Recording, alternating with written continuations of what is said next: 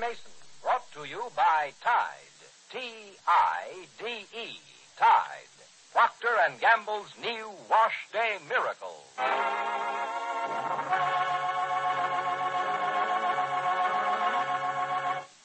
Perry Mason, the famous character created by Erle Stanley Gardner, dramatized by Irving Vendig.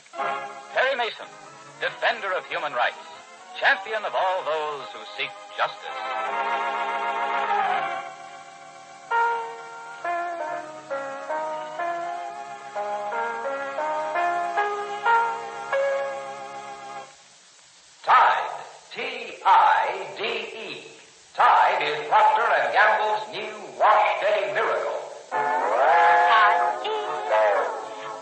Outside gets clothes cleaner than any soap. Hold on now, Franny. There are some pretty wonderful new soaps. I know it. And some absolutely sensational new sudsing products. I know that too, Bob. But I also know that Tide gets clothes cleaner than all of them. Yes, and I know it too, Franny. Tide gets clothes cleaner than any soap, any other suds, any other washing product known. That's because Procter & Gamble's Tide not only leaves clothes free from dirt, it removes dingy soap film too. Yet, with all this extraordinary cleaning power, Tide is safe, truly safe for all your washable colors. What's more, Tide actually brightens soap dulled colors. And in hardest water, Tide gets sheets, pillowcases, and towels whiter than any other washing product known. Keeps them white, too, week after week. Never turns them yellow. And all this goes for your whole family wash, too. So when you choose a washing product, remember this. No soap, no other suds, no other washing product known will get your clothes as clean as Procter & Gamble's Tide. Tide dirt. Out T-I-D-E. Tide.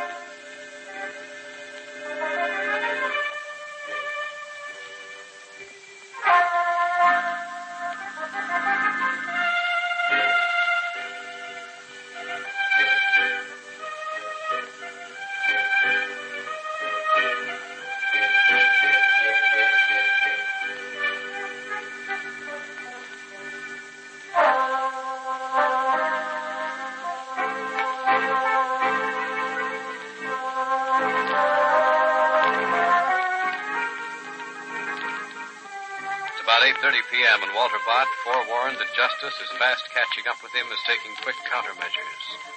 These countermeasures involve Elise Scott, the girl who is so amazingly like Helen Henderson. And as you know, psychologist Dr. Marilyn Irma Schneider. We're going to visit Walter in a few moments, hear more of his strange and terrible scheme, but first to Perry Mason, who's making plans of his own. A moment ago, Perry, accompanied by his secretary, Della Street, walked into the office of Homicide Lieutenant Tragg, where we hear. You two sit down any place. Lieutenant Tragg, Yeah, would you like to make me very, very grateful? sure, if I don't have to move. Then will you say it's all right if I open a window? No, I'll do it for you. You too warm? Oh, it's oh, cigar smoke. Really? Is it that bad? Oh, I realized it was so thick. No, in a way, it's a shame to open it, Tragg. Huh? Think of the cigars you'd save. yes, all you have to do now is inhale. You don't need to light another one. Uh, very funny. Well, anyway, thanks. I'm certainly grateful. And it's uh, not only cigar smoke you smell. Oh? Uh, the deputy commissioner just paid me a visit. Oh, how nice. Yeah, nice. What you smell is my hide burning. Trouble, huh? Plenty. All upset about no progress on Golik's murder. Oh, but couldn't you? Couldn't I tell the commissioner the case is about to break, that in a few hours we're going to arrest the killer, and the killer is probably the most important crook in the country? I could not. Must have been quite a temptation. Mm, it was. Probably would have been safe to tell him. Probably. Tragg feels that a promise is a promise, Ellen. Yeah, and, well, I think this deputy commissioner would have kept quiet, but, you know, guys talk. Since we're this close to where we're going, you used very good judgment, Tragg. Huh? We're all set? Grand jury meets in the morning. Good. So, after you and I iron out a few details. My men are all ready, Mason. We'll pick up Walter Bott as soon as I get a flash the indictment has been returned. Good. And in line with that, Yeah? you have Bott followed? Well, it's been a loose surveillance. We've kept up with him pretty well. We didn't want to make him suspicious. No, I understand. However, in the morning, Yeah? you can have your men start to move in. Expecting something, Perry? No, no, not expecting, but uh, Bott has interests all over the country. I'll. And we don't want him leaving on a business trip just before an indictment is returned. Uh-huh. All right, Mason, I'll pass the word. And there's another angle, Tragg. You know, of course, that Helen Henderson will most likely have to appear before the grand jury. Yeah, I've been thinking about her. Uh-huh. Couldn't you present her sworn statement, keep her out of sight? Well, I'm going to try, but I'm afraid that's a little like your experience with the deputy commissioner. What? Helen's deposition saying that she saw Bott commit murder might be enough, but I think they'll want to hear it from her own mouth. And when you come right down to it, once we go before the grand jury, the cat is out of the bag. Hmm. There'll be no chance for secrecy then. So I don't want Bott to have even an hour's notice if we can help it. Well, there won't be any delay at my end. Good. I want to get rolling as fast as possible. Of course, Helen will have a stronger effect on the jury than any statement. Hmm. Yeah, I guess you're right. She's got to be there. Yeah, she has to be there, and she has to be protected. Now, I'll need another detail of your men, Tragg. All right, how many and where? We'll use the detail at Trainer Street. They can escort Helen to and from the courtroom, but you'll need at least one more detail. For cars in front and cars behind. The whole treatment, huh, Perry? Yes. Now, as for the schedule. The jury meets at 9.30. Our party should arrive at the East Corridor at 9.28. Yeah, I got it. The detail you've posted in the building can take over then. Right. Golly, you sound like you're planning a military campaign. We can't take chances. Bott will make a move, Della. I should say not. So, can you think of anything else, Tragg? Mm, no, that should cover it. Della? Think of anything we haven't covered? No. No, I can't, Perry. Okay, Tragg, you handle the details. We'll see you later. And so as Perry Mason and Homicide Lieutenant Tragg complete their final arrangements, lawyer Joseph Gerhardt Frederick Camp leads a tall, angular woman into Walter Bott's luxurious apartment. Now they enter the vestibule. You'll have to wait here for a moment, Dr. Schneider. I'll tell him we've arrived. All right.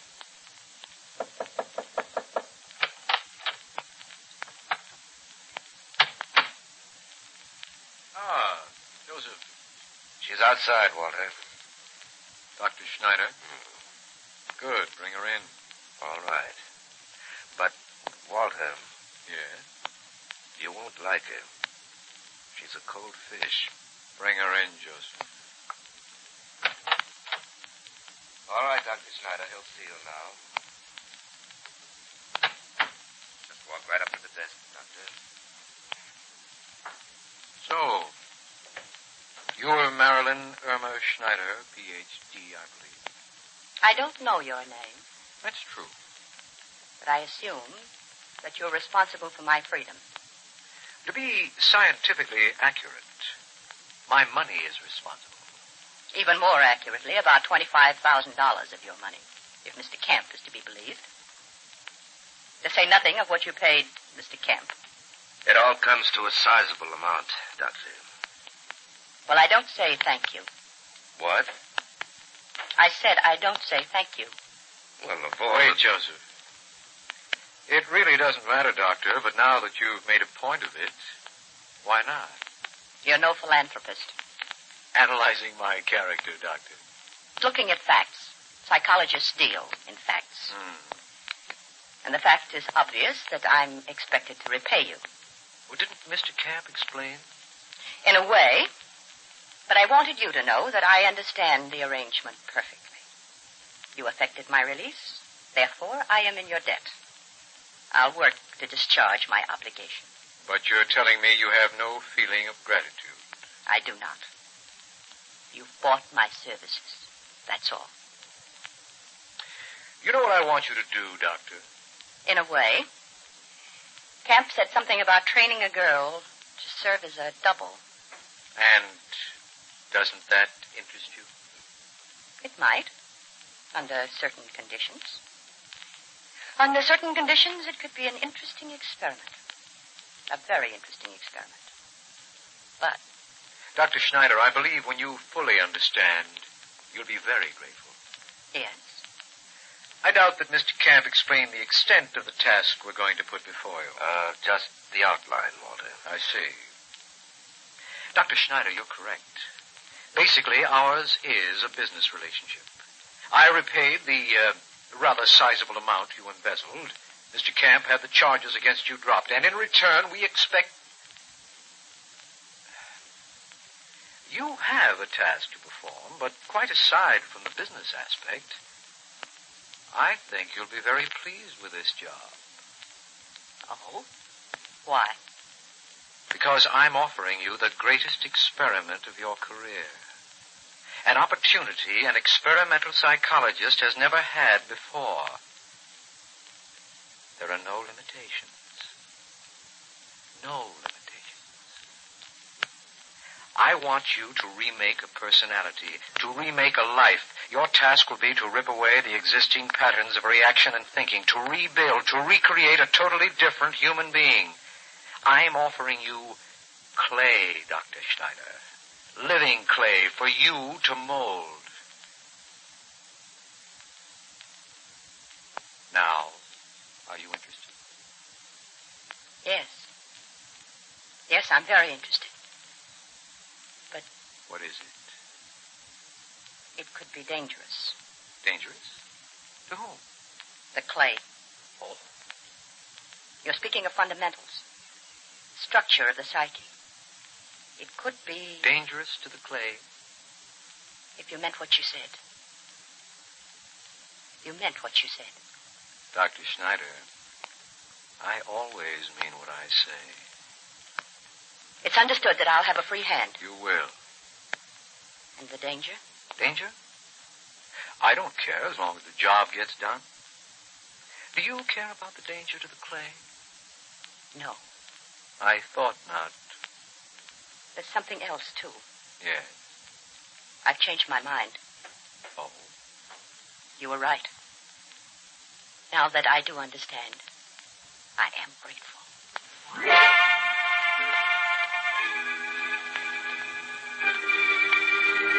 Of course, the clay Walter Bott and Dr. Schneider referred to is Elise Scott. The girl Walter Bott once molded and trained in the image of Helen Henderson. So it's obvious that Perry Mason's precautions for his witness's safety are vitally important. But will they be enough? You better listen to us on Monday.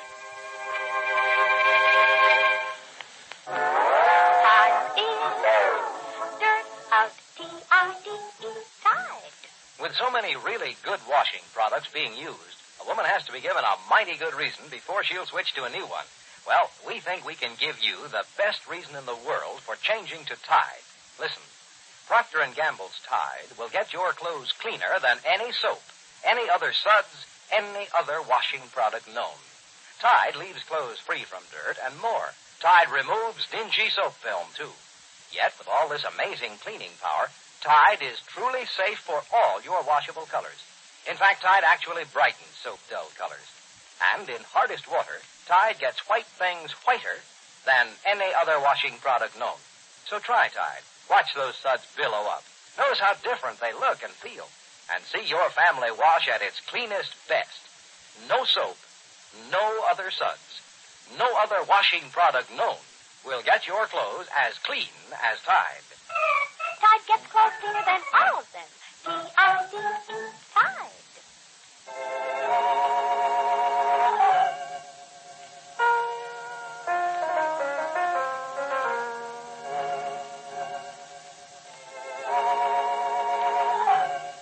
Mason, the famous character created by Erle Stanley Gardner, is brought to you by Tide, Procter and Gamble's amazing new discovery for your whole family wash. Try Tide yourself, and you too will agree you've never used anything like it.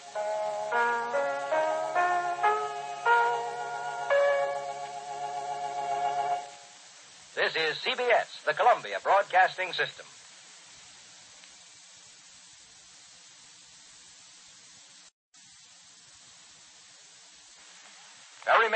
Brought to you by Tide. T-I-D-E. Tide. Procter and Gamble's new Wash Day Miracle.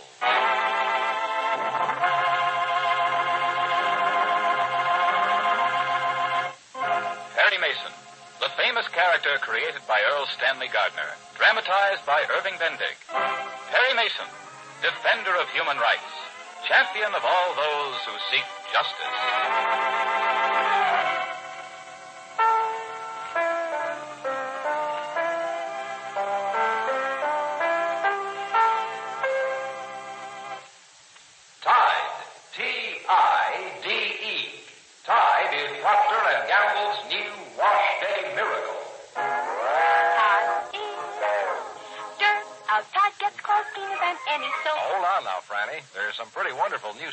I know it. And some absolutely sensational new sudsing products. I know that too, Bob. But I also know that Tide gets clothes cleaner than all of them. Yes, and I know it too, Franny. Tide gets clothes cleaner than any soap, any other suds, any other washing product known. That's because Procter & Gamble's Tide not only leaves clothes free from dirt, it removes dingy soap film too. Yet, with all this extraordinary cleaning power, Tide is safe, truly safe for all your washable colors. What's more, Tide actually brightens soap dulled colors. And in hardest water, Tide gets sheets, pillowcases, and towels whiter than any other washing product known. Keeps them white, too, week after week. Never turns them yellow. And all this goes for your whole family wash, too. So when you choose a washing product, remember this. No soap, no other suds, no other washing product known will get your clothes as clean as Procter & Gamble's Tide. Tide is dirt out. Tide.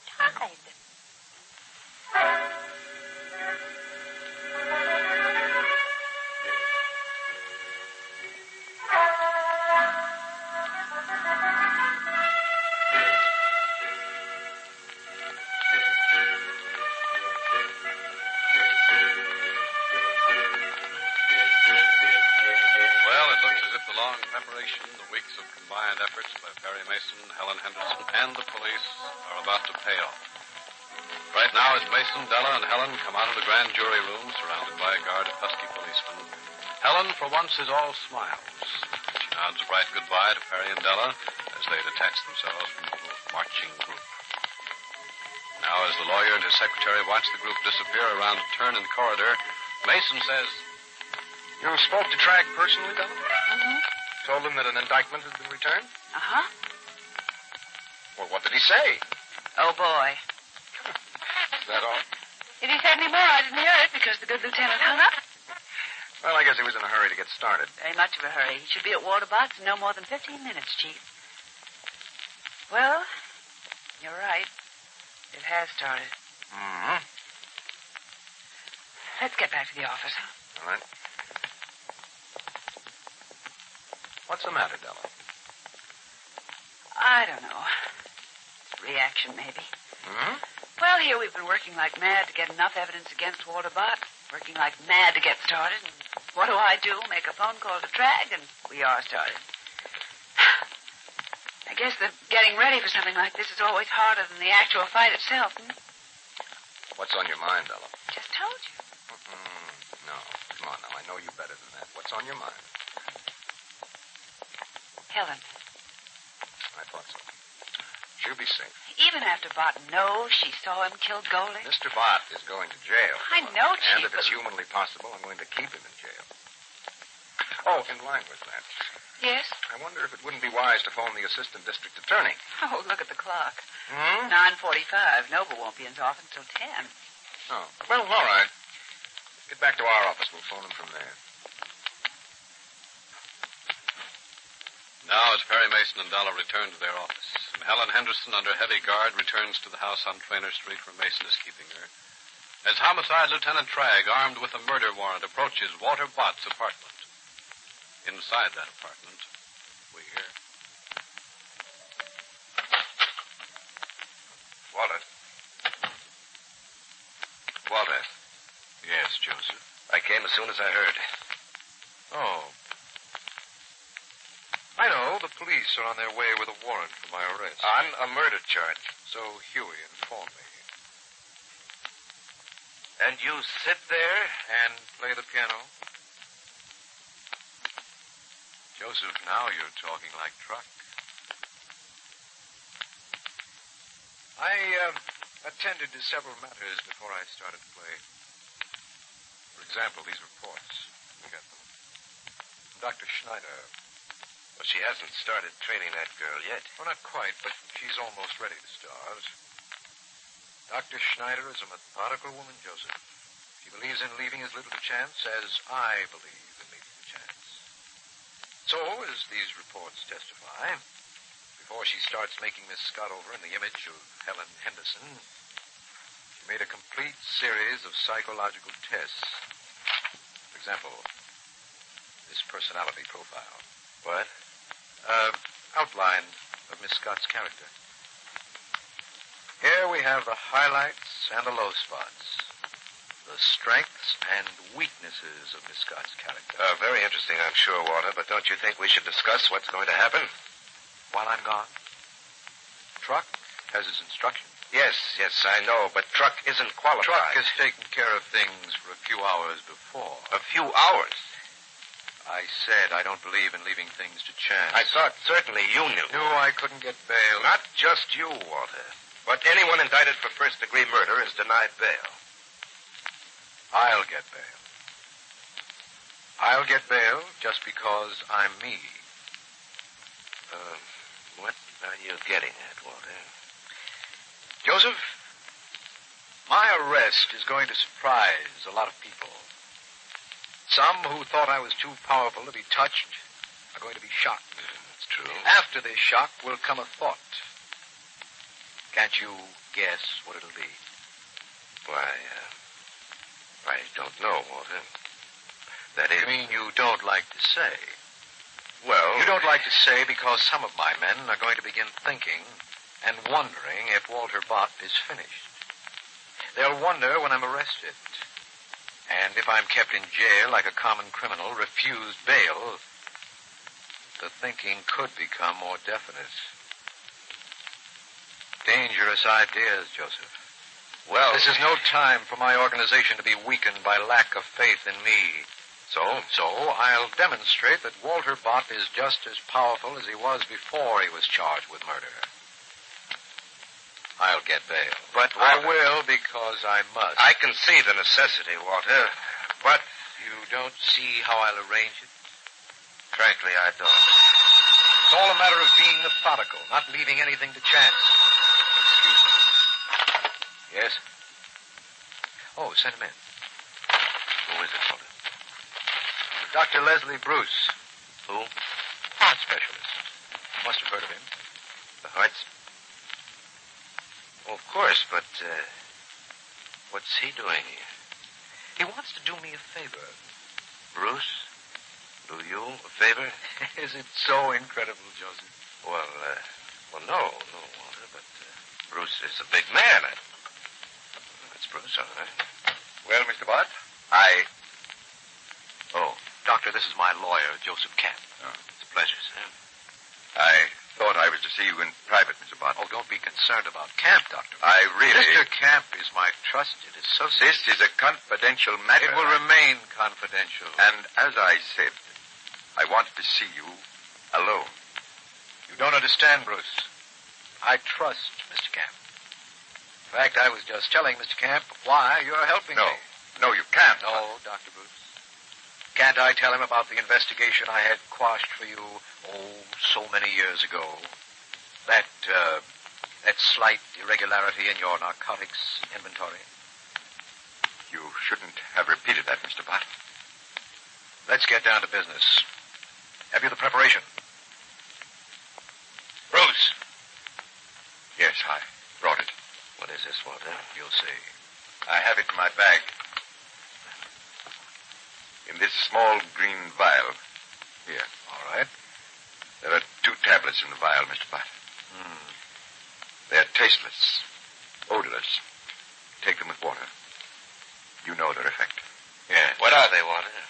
Why, uh, an amatol derivative, I It doesn't believe. matter what they are, Mr. Camp. Suffice it to say, they will accomplish the desired effect. As long as I take them with water. Well, I suppose that's all. Almost. I'll be leaving. I... What did you say? I want you available when I call. See that you are available. But, Mr. Bott, couldn't you get someone else? That is, it... I... it No, really- Bruce, I'm counting on your eminent reputation to smooth the way. Well, Just remain in your office. I will.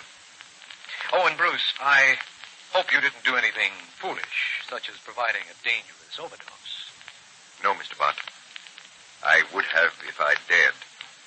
But I don't dare. That's all. You may go. Well, goodbye, Dr. Bruce. Well, that should take care of everything, Joseph. Well then, I think I know what you're up to with those tablets. And I think it can work. As long as no hitch develops when you're booked. Isn't Sergeant Davis in charge of the desk at Central Station? Davis, uh, well, yes, but. Uh, oh, I know Davis is honest, but he's friendly to us. And. Yes? I see. Oh, no, no, no. Oh, don't try to stop. Yes, I want to see them. Show them. We'll soon learn how my scheme works, Joseph. Then it's. Yes, they're outside now with the warrant. Joseph, it's starting.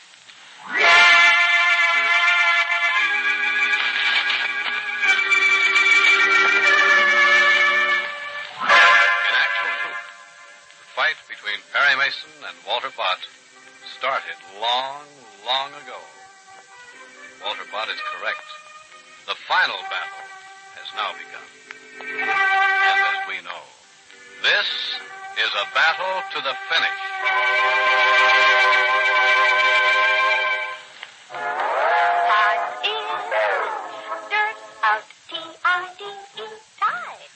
With so many really good washing products being used, a woman has to be given a mighty good reason before she'll switch to a new one. Well, we think we can give you the best reason in the world for changing to Tide. Listen, Procter & Gamble's Tide will get your clothes cleaner than any soap, any other suds, any other washing product known. Tide leaves clothes free from dirt and more. Tide removes dingy soap film, too. Yet, with all this amazing cleaning power, Tide is truly safe for all your washable colors. In fact, Tide actually brightens soap dull colors. And in hardest water, Tide gets white things whiter than any other washing product known. So try Tide. Watch those suds billow up. Notice how different they look and feel. And see your family wash at its cleanest best. No soap, no other suds, no other washing product known will get your clothes as clean as Tide. Tide gets cleaner than all of them. T-I-D-E, Tide.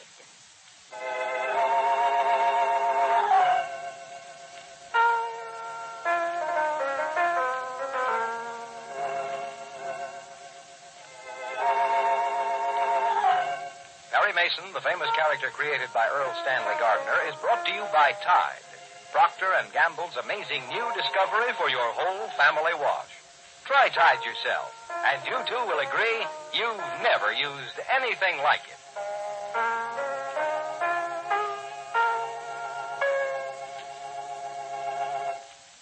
This is CBS, the Columbia Broadcasting System.